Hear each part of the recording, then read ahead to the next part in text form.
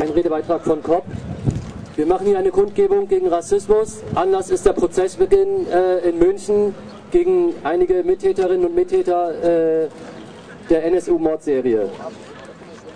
Und wir stellen bei der Gelegenheit nochmal fest, dass äh, das Problem Rassismus heißt und das Problem, das eigentliche Problem nicht äh, verhandelt wird.